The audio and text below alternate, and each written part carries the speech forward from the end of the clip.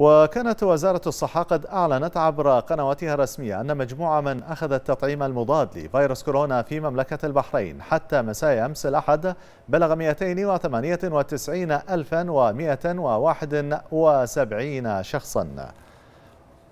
وتبين من الإحصاء الرسمي أن الفريق الوطني أن عدد حالات التطعيم ليوم أمس بلغ 2875 حالة تطعيم.